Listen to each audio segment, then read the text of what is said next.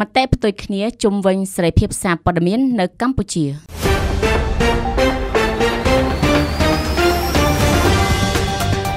ថ្ងៃទី3ខែឧសភាឆ្នាំ2024នេះគឺជាខួបលើកទី31នៃទិវាសេរីភាពសារព័ត៌មានពិភពលោកទិវាសេរីភាពសារព័ត៌មាននាឆ្នាំនេះត្រូវបានធ្វើឡើងនៅក្នុងគោលបំណងលើកកម្ពស់និងការពារសេរីភាពសារព័ត៌មាននៅទូទាំងពិភពលោក តកតងទៅនឹងទិវាសេរីភាពសារព័ត៌មាននៅកម្ពុជាវិញលោកនុកវីដែលជានាយកប្រតិបត្តិសមាគមសម្ព័ន្ធអ្នកសារព័ត៌មានកម្ពុជា បានបញ្ជាក់តាមរយៈវិទ្យុវីយ៉ូនៅថ្ងៃទី3ខែឧសភាថាលោកមើលឃើញថាបច្ចុប្បន្នសេរីភាពសារព័ត៌មាននៅកម្ពុជាគឺមានសេរីភាពដើរអន្លឿនលើហើយមិនទាន់មានសេរីភាពទេសម្រាប់អ្នកសារព័ត៌មានឯករាជ្យ ដែលជាអ្នកផលិតមេតិការឆ្លុះបញ្ចាំងពីបញ្ហាផ្សេងៗក្នុងសង្គមនិងរិះគន់បញ្ហាសង្គមគឺជាក្រុមដែលមានហានិភ័យខ្ពស់ជាងនេះទៀតលោកក៏មានការបារម្ភផងដែរចំពោះការបិទសារព័ត៌មានដែលមានសមត្ថភាពខ្ពស់ដែលផ្ដល់ព័ត៌មានគ្រប់ជ្រុងជ្រោយដល់សាធារណជន ជារួមដែលយើងបើថានិយាយទៅគឺថាមានសេរីភាពដែរប៉ុន្តែដោយលើលើបាទអឺมันมันទាន់មានសេរីភាពទេសម្រាប់ជាពិសេសគឺអ្នកសារព័ត៌មានដែលឯករាជ្យដែលគាត់ ផលិតមេតិកាព័ត៌មានយើងហៅថា critical content ព័ត៌មានដែលមានលក្ខណៈឆ្លុះបញ្ចាំងអំពីបញ្ហាផ្សេងផ្សេងនៅក្នុងសង្គមរិះគន់បញ្ហាក្នុងសង្គមហ្នឹងគឺថាពួកគាត់ជាក្រុមដែលមានហានិភ័យខ្ពស់មានការរងគ្រោះច្រើនមានបណ្ដឹង ប្តឹងផ្ដាល់ជាក់ស្ដែងឆ្នាំ2023កម្ពុជាកត់ត្រាករណី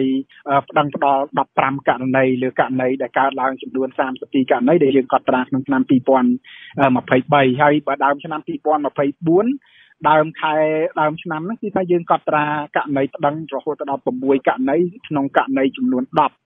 ដែលយើងកត់ត្រាចំពោះករណីប្តឹងផ្ដល់លើអ្នកសារព័ត៌មានអញ្ចឹងនៅមានករណីកើតឡើងច្រើនដែលគួរឲ្យជាការបារម្ភហើយមួយវិញទៀតតកតងជាមួយនឹងការអឺបិទសារព័ត៌មានដែលមានសមត្ថភាពខ្ពស់នៅក្នុងការធ្វើសេចក្តីរាយការណ៍ព័ត៌មានផ្សេងៗហ្នឹងគឺថាមានការបិទច្រើនហើយបិទច្រើនហ្នឹងធ្វើឲ្យយើងមានការបារម្ភអំពីការផ្ដល់ព័ត៌មានដែលមានភាពអឺ មានគុណភាពគ្រប់ជ្រុងជ្រោយដល់សាធារណជនទូទៅផងដែរការរឹតបន្តឹងខ្លួនឯងគេហៅថា self sensitive ហ្នឹងនៅកើតមានច្រើននៅឡើយហើយជាពិសេសបើសិនជាយើងពិនិត្យមើលឃើញក្រសួងព័ត៌មានលោកកំណត់ហើយអំពីការការរកឃើញនៅក្នុងការសិក្សាស្រាវជ្រាវមាន20%ជាងដែលគាត់យល់ឃើញថា ស្ថានភាពសារព័ត៌មានយើងហ្នឹងគឺថាមិនទាន់ល្អទេនៅពេលដែលគាត់រកឃើញថាមានការអ្នកឆ្លើយតបអឺប្រមាណជា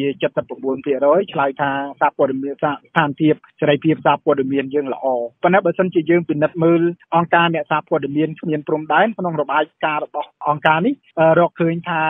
ស្ថានភាពសារព័ត៌មានយើងធ្លាក់ចុះជាបន្តបន្ទាប់ចាប់តាំងពីឆ្នាំ2017មកហើយឆ្នាំ2023នេះយើងធ្លាក់រហូតទៅដល់លេខ147គឺធ្លាក់ចុះខ្លាំងមែនទែនបាទដែលគួរជាទីព្រួយបារម្ភបាទជាមួយគ្នានេះដែរលោកនុកវីក៏បានលើកឡើងដែរថាការធានាបរិយាកាសទីផ្សារសារព័ត៌មានជារឿងមួយដែលរដ្ឋាភិបាលក៏បីលើកទឹកចិត្តធ្វើយ៉ាងណាឲ្យការបង្កើតស្ថាប័នសារព័ត៌មានកាន់តែងាយស្រួលសុវត្ថិភាពនិងសន្តិសុខពេញលេញក្នុងពេលធ្វើប្រតិបត្តិការ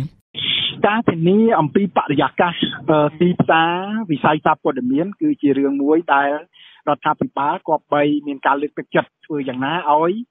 ការបង្កើតស្ថាប័នសារព័ត៌មាននេះកាន់តែមានភាពងាយស្រួលកាន់តែមានសុវត្ថិភាពមានសន្តិសុខពេញលេញនៅក្នុងការធ្វើប្រតិបត្តិការការធានាអំពីបរិយាកាសនៃការអនុវត្តការងារសម្រាប់អ្នកសារព័ត៌មានធានាបរិយាកាសមានន័យថាយើងធានាឲ្យមានសន្តិសុខនិងសុវត្ថិភាពសម្រាប់បងប្អូនអ្នកសារព័ត៌មាន គាត់រាយការណ៍រឿងអីក៏ដោយរិះគន់ក៏ដោយគ្រប់គ្រងឬក៏ប្រឆាំងក៏ដោយគឺថាគាត់មានតែសេរីភាពហើយមានសន្តិសុខសុវត្ថិភាពពេញលេញអញ្ចឹងអាហ្នឹងគឺជាការធានាអំពីបរិយាកាសធានាថាអ្នកសារព័ត៌មានគឺថាมันមានការរឹតបន្តឹងបាទមិនមានការរឹតបន្តឹងលុះត្រាតែយើងធានាអំពីសន្តិសុខសុវត្ថិភាពរបស់អ្នកសារព័ត៌មានយើងធានាថាអ្នកសារព័ត៌មានហ្នឹងគឺថាអាចរាយការណ៍រឿងអីក៏ដោយយើងធានាថាអ្នកសារព័ត៌មានហ្នឹងគឺថាមាន លទ្ធភាពហើយមានការជ្រោមជ្រែងគ្រប់គ្រាន់នៅក្នុងការទទួលបានព័ត៌មានពីស្ថាប័នរដ្ឋឧទាហរណ៍ដូចជាអ្នកនាំពាក្យរដ្ឋាភិបាលគាត់គួរតែផ្ដល់ព័ត៌មាននៅពេលដែលអ្នកសារព័ត៌មានស្នើសុំព័ត៌មានផ្ដល់ព័ត៌មានហ្នឹងឲ្យទាន់ពេលវេលាទៀតបាទព្រោះតួនាទីរបស់គាត់គឺជា អ្នកផ្ដល់ព័ត៌មានទៅដល់អ្នកសារព័ត៌មានក៏ដូចជាសាធារណជនទូទៅយើងត្រូវធានាថាព័ត៌មានសាធារណៈហ្នឹងគឺត្រូវបានបើកទូលាយដើម្បីឲ្យព័ត៌មានសាធារណៈបើកទូលាយគឺរដ្ឋាភិបាលជាពិសេសក្រសួងព័ត៌មានលោកគួរពន្លឿនការអនុម័តសេចក្តីព្រាងច្បាប់ស្តីពីសិទ្ធិទទួលព័ត៌មានដែលយើងមានបច្ចុប្បន្នហ្នឹងប៉ុន្តែយើងមិនទាន់បានអនុម័តឡើយអញ្ចឹងត្រូវធានាថាសេចក្តីព្រាងច្បាប់ហ្នឹងគឺថានឹងពន្លឿនការអនុម័តឲ្យបានឆាប់រហ័ស យើងត្រូវធ្វើវិសោធនកម្មច្បាប់មួយចំនួនទៀតដែលគម្រាមកំហែងដល់ការអនុវត្តការងាររបស់អ្នកសារព័ត៌មានជាពិសេសអ្នកសារព័ត៌មានឯករាជ្យនឹងដោយឧទាហរណ៍ច្បាប់ស្ដីពីក្រមព្រហ្មទណ្ឌបាទច្បាប់ស្ដីពីក្រមព្រហ្មទណ្ឌហើយមានច្បាប់មួយចំនួនទៀតដែលគួរតែត្រូវបានធ្វើវិសោធនកម្មឧទាហរណ៍ដូចជាច្បាប់ស្ដីពីគេហៅថាទូរគមនាគមន៍បាទយើងគួរតែពិនិត្យមើលឡើងវិញនៅ សេចក្តីប្រកាសរួមស្តីពីការគ្រប់គ្រងអ្នកប្រើប្រាស់អ៊ីនធឺណិតយើងមើលឡើងវិញអំពីសេចក្តីប្រកាសរបស់ក្រសួងដែលអនុញ្ញាតឲ្យមានការដកអាជ្ញាប័ណ្ណព័ត៌មានអីចឹងជាដើមអញ្ចឹងទាំងអស់នោះគឺជាចំណុចអតិភិបសំខាន់សំខាន់រួមផ្សំជាមួយចំណុចមួយចំនួនទៀតដែលសម្រាប់ខ្ញុំខ្ញុំរីករាយនៅក្នុងការផ្ដល់ជូនជាយោបល់ហើយនឹងការលើកជាសំណុំពរផ្សេងផ្សេងដើម្បីឲ្យមានការអន្តរាគមន៍និងការយកចិត្តទុកដាក់ដើម្បីដោះស្រាយបញ្ហាដែលយើងកំពុងជួបប្រទះនឹងបាទចំណែកលោកហ៊ុយវណ្ណៈដែលជាប្រធានសហភាពសហព័ន្ធអ្នកសារព័ត៌មានកម្ពុជាក៏បានបញ្ជាក់តាមរយៈវិសុវិយោដែលថាចំពោះកម្ពុជាសេរីភាពគឺមានវិសាលភាពទូលំទូលាយណាស់និងផ្ដល់លទ្ធភាពឲ្យគ្រប់គ្រប់គ្នាតែអ្វីដែលចាប់អារម្មណ៍និងកត់សម្គាល់គឺការប្រើសេរីភាពមិនទាន់បានជាប្រយោជន៍និងមិនទាន់ត្រូវទាំងអស់ទេបាទសូមអរគុណថ្ងៃនេះជាថ្ងៃទិវាសេរីភាពសារព័ត៌មានពិភពលោកហើយក៏ដូចជាកម្ពុជាដែរតែទៅ គេថាសេរីភាពនេះវា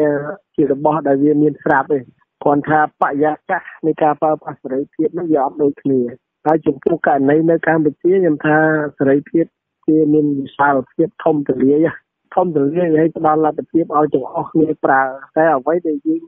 មានការចាប់អារម្មណ៍ហើយកត់សម្គាល់ទាំងអស់គ្នានេះយើងប្រើប្រាស់សេរីភាពនេះវាអត់ទាន់បានជាប្រយោជន៍ទាំងអស់ហើយក៏វាមិនទាន់ត្រូវទាំងអស់ ដោយសារកត្តានៃភាពចម្រុះក្នុងសង្គមរបស់យើងអ្នកខ្លះក៏ប្រើប្រាស់សេរីភាពនឹងកិច្ចការបានជាប្រយោជន៍ច្រើនទៅអ្នកខ្លះក៏ធ្វើកិច្ចការទៅវាជួបឧបសគ្គជួបបញ្ហាហើយក៏វាយតម្លៃថាបរិយាកាសសេរីភាពនឹងមិនត្រូវតែពិតជាវាកត្តាកៅ input ឲ្យលោកហុយវណ្ណៈបានលើកឡើងបន្ថែមទៀតថាការយកចិត្តទុកដាក់លើបញ្ហាសេរីភាពសារព័ត៌មានគឺមានតាំងពីសម័យអតីតនាយករដ្ឋមន្ត្រីមកម្លេះតែលោកសង្កេតឃើញថា ទំនាក់ទំនងរវាងអ្នកនាំពាក្យនិងអ្នកកាសែតគឺនៅមានបញ្ហាខ្ញុំថាការយកចិត្តទុកដាក់នៅករណីកម្ពុជានេះគឺតាំងពីសម័យសម្ដេចតេជោមកនិងถึงបច្ចុប្បន្ននេះគឺគាត់បើកទលាយឲ្យមានឱកាសជួបគ្នារវាងអ្នកព័ត៌មានជាមួយនឹងប្រមុខរដ្ឋាភិបាលប៉ុន្តែប៉ុន្តែយើងទូស្គាល់ថាការតំណាក់ទំនងរវាងកសែតអ្នកនាំពាក្យនៅនៅមានបញ្ហាជាទ្រព្យខណ្ឌគោលនយោបាយហ្មងគឺបើកទលំទលាយ តែការអនុវត្តវាជួបឧបសគ្គឧបសគ្គទៅថាអ្នកនាំពាក្យនិងអ្នកកសែតនឹងទំនាក់ទំនងនេះអត់ទាន់ទៅបានល្អនឹងដោយសារការបំពីគ្នាការទុកចិត្តគ្នាការជឿគ្នានឹងវាមានបទពិសោធន៍ជួចត់ទៅវិញទៅមកអ្នកកសែតមួយចំនួនហ្នឹងទៅកាត់ពាក្យសម្ដីគាត់ទៅជួយយើងទៅគាត់តែទេយកពាក្យគាត់ទៅកន្លែងយកទៅប្រើឬក៏អ្នកសាស្ត្រសួរសួរកាយកាយពេករឿងខ្លះមិនមែនរឿងរបស់គាត់ទេទៅសួរគាត់ឲ្យខ្លេចអញ្ចឹងរឿងហ្នឹងវានៅតែរវាងអ្នកនាំពាក្យហើយនិងអ្នក រវាងទីពីរខាងច្បាប់តែបើច្បាប់ល្អច្បាប់កណាច្បាប់ល្អទៅវាជួយឲ្យយើងកត់តំណាងនៃអ្នកអនុវត្តច្បាប់ឬច្បាប់ហ្នឹងចែកមកឲ្យយើងមានអារម្មណ៍កក់ក្ដៅថាអូមានរឿងច្បាប់ចេញតែជាល្អហ្មងប៉ុន្តែសំណួររបស់យើងមួយគឺថាឲ្យតែដល់ច្បាប់ចាប់ដាក់ការពិតច្បាប់គឺជាមូលដ្ឋានការពារ គុណភាពជីវិតរស់នៅយើងឲ្យវាមានតម្លៃទៅដល់អាហ្នឹងយើងទៅធ្វើតែច្បាប់ស្ដីពីរបបស្ថាប័ននេះយើងមានដល់ដល់ទៅធ្វើសកម្មកម្មដើម្បីឲ្យច្បាប់នេះកក់ក្ដៅទី2ក្រមសីលធម៌ស្ដីពីជីវៈស្ថាប័ននេះក៏ត្រូវខំតាក់តែងគ្រប់គ្នាចេះនិយាយថាគឺអីទៅគ្រប់ទៅគ្រប់ក្រមសីលធម៌ជីវៈ ពាក់ព័ន្ធទៅនឹងការលើកឡើងខាងលើនេះដែរលោកណេតភត្រារដ្ឋមន្ត្រីក្រសួងព័ត៌មានបានលើកឡើងនៅក្នុងសន្និសីទសារព័ត៌មានផ្សព្វផ្សាយរបាយការណ៍ស្ដីពីស្ថានភាពសេរីភាពសារព័ត៌មាននៅកម្ពុជាថាតាមរយៈការស្ទង់មតិក្នុងចំណោមអ្នកសារព័ត៌មានចំនួន341នាក់មានមនុស្សចំនួន79.8%បានឆ្លើយថាស្ថានភាពសេរីភាពសារព័ត៌មាននៅកម្ពុជាមានភាពល្អប្រសើរដោយឡែកនៅក្នុង79.8%នេះមានមនុស្ស8.8%ឆ្លើយថា សេរីភាពសារព័ត៌មាននៅកម្ពុជា គឺមានស្ថានភាពល្អបំផុត។